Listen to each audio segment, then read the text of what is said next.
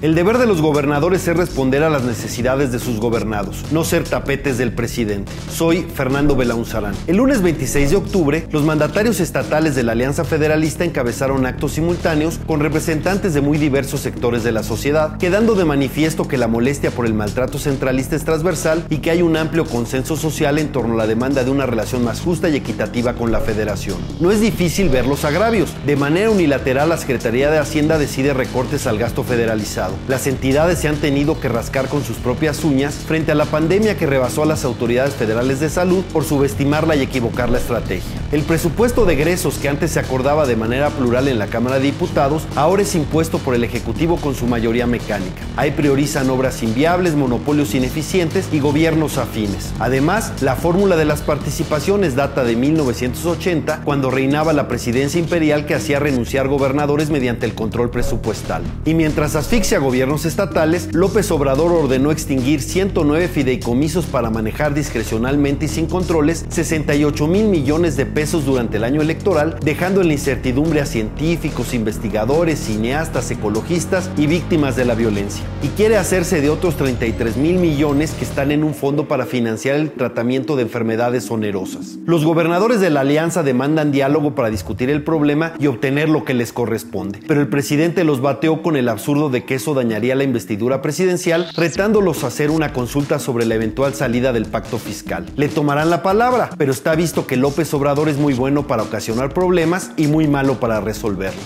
Soy Fernando Belaunzarán y si te gustó este video, compártelo en tus redes sociales.